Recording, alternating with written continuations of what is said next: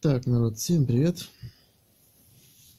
Сегодня хочу рассказать про один такой очень интересный телефончик. Вот недавно попал ко мне в руки. Модель старенькая, ее уже где-то год. Не знаю, там производит еще или нет, но сам телефончик, в принципе, из старой гвардии, как говорится, и чем он меня поразил? Поразило меня сегодня ночью тем, что светил как прожектор. Вот этот вот зеленый датчик событий. Светит он реально ярко.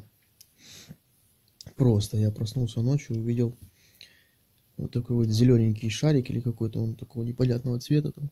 Да, зелененький. На потолке. Я думал, меня проглючило, а оказалось, это он лежал у меня значит, на тумбочке рядом с кроватью и светил прямо в потолок. Такой датчик, конечно, невозможно не заметить. Очень полезная штука. Вот. Телефон сам, в принципе, на данный момент сейчас ничем не примечательный, кроме своим еще дисплеем. Вот. У него очень такой обычный вид. Хотя я бы даже сказал, что он спереди даже похож на Galaxy S2. Немножко. Вот. Экран у него хороший. Разрешение 480 на 800 точек. Размер экрана 4 дюйма. Вот. Что еще могу сказать по поводу этого телефона?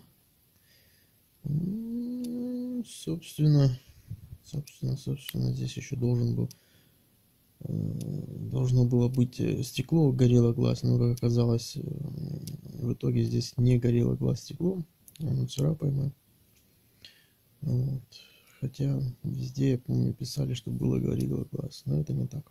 Стекло стоит обычное, но довольно прочное. Так что вот и все, что я, в принципе, хотел сказать по этому телефону.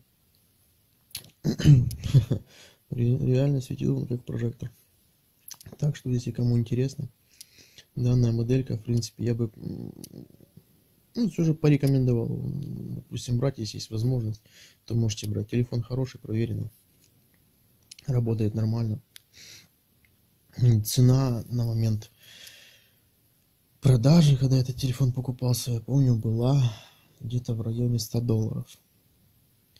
Сейчас, по-моему, даже я видел где-то меньше было, 90 или около того, то есть подешевел. Цена, в принципе, приемлемая, поэтому можете брать.